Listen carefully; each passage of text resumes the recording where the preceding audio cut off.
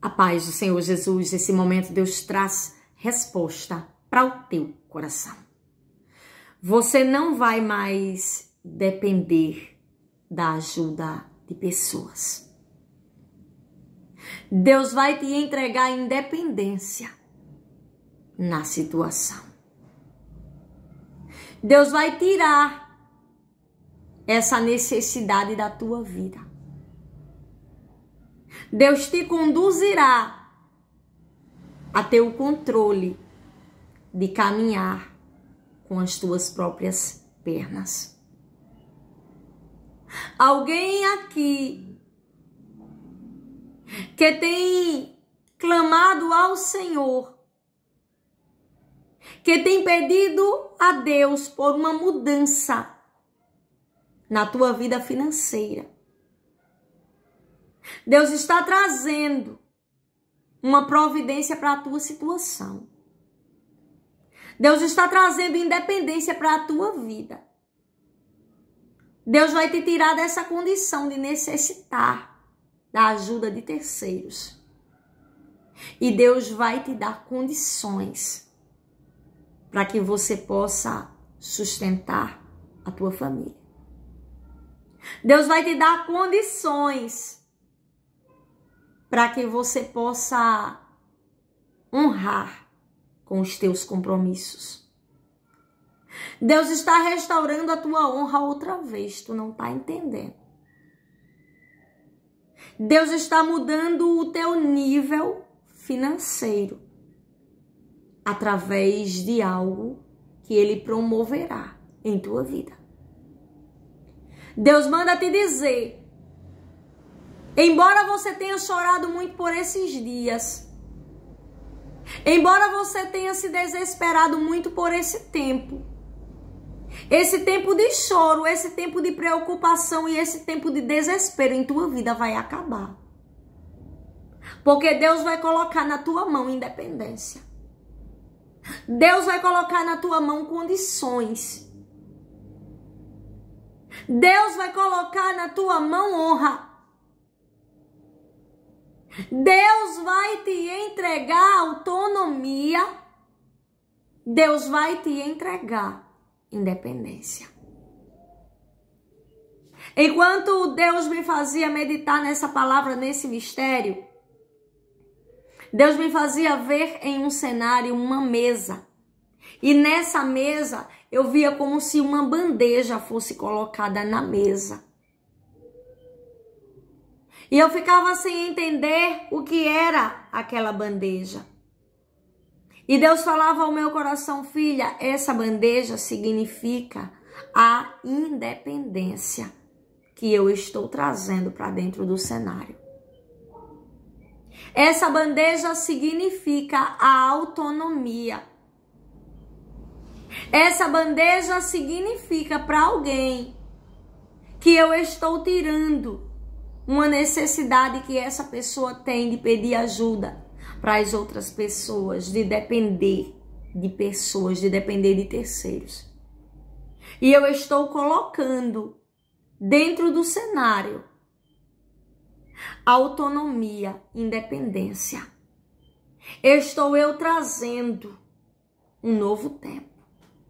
Deus está acessando um tempo de escassez em tua casa. Deus está cessando um tempo de dificuldade financeira muito grande, que tem trazido muita dor para o teu coração. É difícil depender de pessoas e perceber que muitos se negam. É difícil ver pessoas que eram próximas se afastarem diante da tua necessidade, não é bem assim?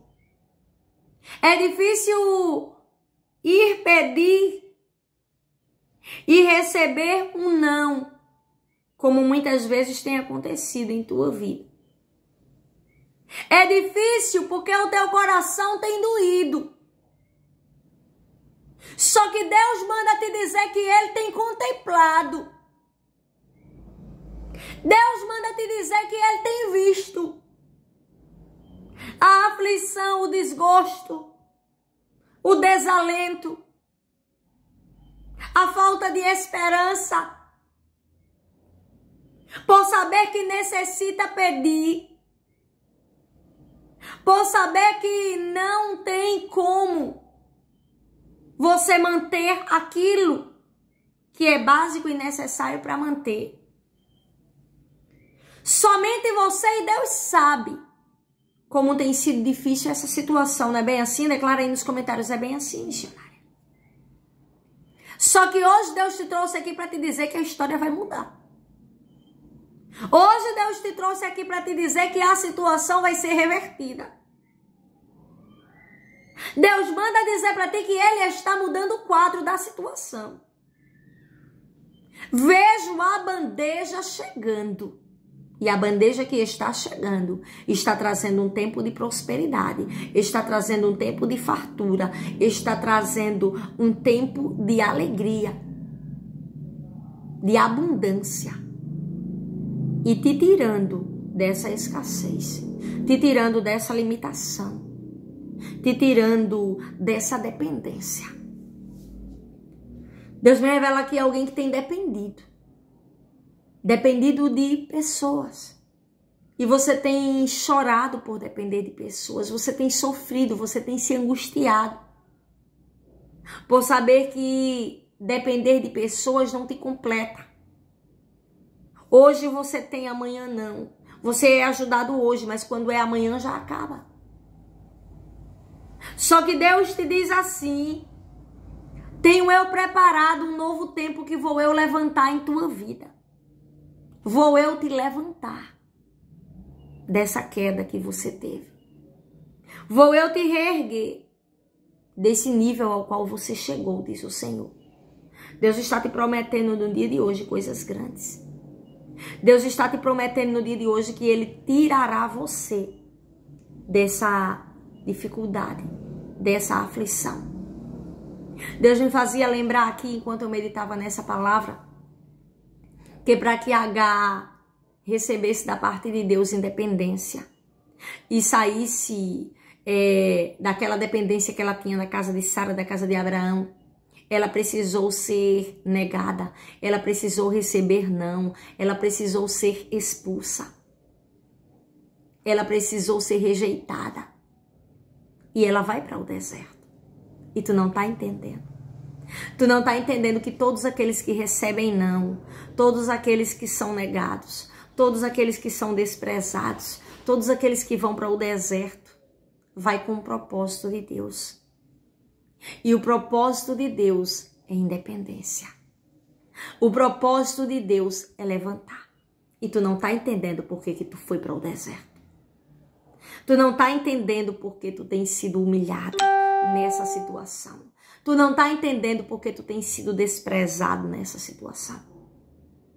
É para que tu encontre aquilo que Deus já tem preparado para te mostrar. Deus já tinha preparado lá no deserto uma fonte de água para mostrar para H. Só que ela não estava vendo. Ela estava focada naquele sofrimento que ela estava passando. Ela estava focada naquela dependência que ela tinha. Ela estava focada naquela necessidade que ela estava naquele momento, que era de se alimentar. Naquele momento ela queria se alimentar. Ela queria saciar a sua sede, porque ela estava no deserto. Quem está no deserto tem sede. Veja alguém aqui que está com sede, porque está no deserto, está necessitado. Só que lá naquele momento que H estava com sede, que H estava com fome, que H estava necessitada, Deus mostra para H algo tão importante que quando H encontra aquilo que Deus mostra, que foi uma fonte de água, H entende que a partir dali ela não precisava mais ser uma escrava, mas a partir dali ela tinha identidade própria. A partir dali ela caminharia com suas próprias pernas. A partir dali ela tinha como construir a sua história. Ela tinha como seguir a sua vida adiante. Sabe o que é que, o que, é que Deus vai te mostrar dentro desse deserto? Uma fonte de sobrevivência. Para tu entender que a partir desse momento tu não é mais dependente. Que a partir do momento, desse momento que Deus vai te mostrar isso, tu não, tu não vai mais precisar. Mas tu vai caminhar. Tu vai receber da parte de Deus o sustento que tu precisa para seguir. Tu vai receber da parte de Deus algo que vai determinar a tua independência. Aquela fonte de água que Deus mostra para H determina naquele momento independência para a vida dela e do filho dela. H e o seu filho não precisava mais receber é, a, a ajuda, suporte da casa de Abraão e da casa de Sara. Até porque eles tinham sido expulsos. Muita gente se afastou. Muita gente se negou. Verdadeiras identidades de pessoas você conheceu agora, nesse deserto, nessa necessidade, nessa dependência, não é bem assim? É bem assim, irmão. O deserto, ele é pra gente conhecer as pessoas. O deserto, ele é pra gente é, ver quem está do nosso lado e quem não está. O deserto é pra gente conhecer quem são os verdadeiros amigos. Conhecer quem são as pessoas que torcem por nós, que nos amam de verdade. E você vai entender que nesse deserto são poucos que vão estar, mas são aqueles que te amam de verdade. Deus te diz assim: mostrarei para ti algo grandioso, algo que vai determinar milagre, algo que vai determinar a tua independência aí dentro desse lugar. Amém. Aos irmãos que chegaram até o fim do vídeo, Deus te abençoe. Muito obrigada pela tua companhia de todos os dias. Louvo a Deus pela tua vida. Louvo a Deus por trazer todos os dias ao nosso coração, por ministrar palavras que venham a trazer resposta para o teu coração. Mas eu também quero trazer, é, fazer algo grandioso, algo que é, Deus ele colocou no meu coração para fazer. E o que foi que Deus colocou no meu coração para fazer? Orar pelos irmãos que nos pedem, que, que colocam os seus nomes aí nos comentários. Por quê? Porque nem sempre, irmãos, nós podemos responder os comentários, porque são muitos. Mas nós podemos fazer algo grande. Nós podemos fazer algo é, que Deus ele vai trazer como resposta algo para o teu coração, o que, é que a gente pode fazer? Orar. A gente pode clamar, a gente pode interceder. Então, estou aqui na minha casa todos os dias intercedendo pelos irmãos que nos pedem por oração nos comentários dos nossos vídeos. Então, quando você coloca o teu nome e o nome da tua família, você já está automaticamente participando do nosso clamor. Tenho certeza que você será alcançado. Daí da tua casa, tu vai sentir a resposta de Deus te alcançar resposta do nosso clamor, resposta das nossas intercessões. Amém. Deus te abençoe.